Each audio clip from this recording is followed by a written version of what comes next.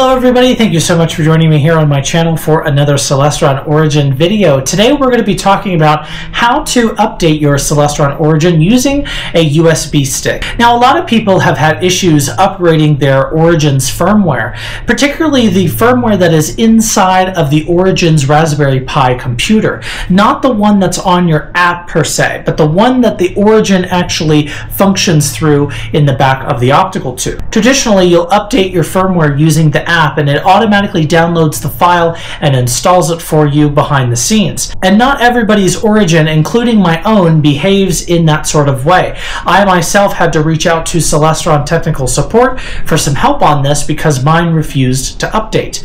And a lot of people have kind of discovered you can go between the beta channel and back to the stable channel and kind of trick the computer into forcing an update for you, but sometimes it's not really successful. So to combat this, Celestron has added a user guide on their website, and using an old USB drive, you can update your Origin in a matter of just a couple minutes. What you're going to need is you're going to need either a Mac or a Windows computer. You're going to need a USB thumbstick. This is just an old one gigabyte stick I had laying around in the junk drawer. And you're going to need, obviously, your Origin. And between those three parts, you got everything you need. And you're ready to download the files to do the sideload update. You're going to want to insert your USB drive into either your Mac or Windows computer, you're going to want to go to the Celestron website. You're going to want to go under Telescopes, find the origin, and scroll down a little bit until you get to these. You're going to click Support and Downloads, and you'll see right here under the Software and Firmware, we have the Origin Core version 1.2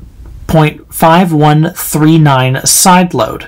Now this is the firmware, the latest firmware core that is going to be available as the Origin continues to update. Celestron will of course put the most recent version of the core software right here for us.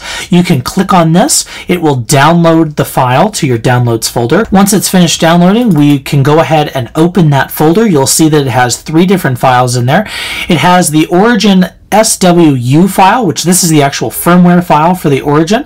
You have the update text. This basically tells the Origin when you boot up to load this firmware onto it. And then you have just an instruction manual. If you just double click this, it'll give you the instruction manual in a couple of different languages just in case you have any questions for this. Now what we're going to do next is we're going to open up the USB drive that we have created for this purpose. I use one only dedicated to this. It's only a one gigabyte stick, super lightweight, you know, in terms of today's world, but it does the job beautifully since this file is only about 250 megabytes. We're just going to basically copy these two, not the instruction manual, but the other two files, and we're going to drag and drop these right over onto the USB drive that we're going to use for the update, let them copy over, and once those are done, we can eject that USB drive and then go to the next step with the origin. Once you're done transferring those files onto your USB drive, you're going to insert your USB drive into the back of the Origin's optical tube in the USB 3.0 port, and you're going to power on your telescope. From here, mine has an LED light on the back of it. You can kind of see it blinking here a little bit. But you're going to basically let it sit here just like this for about 10 minutes. You don't need to connect to Wi-Fi. You don't need to start up the app. You're not going to initialize anything. Right now, it is going through those two files, and it is booting and installing that firmware upgrade for us right as we speak. You're going to want to let this go for about 10 minutes and then you can just come over and power the mount back off and remove your USB thumb drive. After that, you can open up your app and see that the newest software has indeed been installed for you. I hope this helps update your Celestron Origin from here and also in the future. Thank you so much for joining me. I'll see you next time. Clear skies to you all.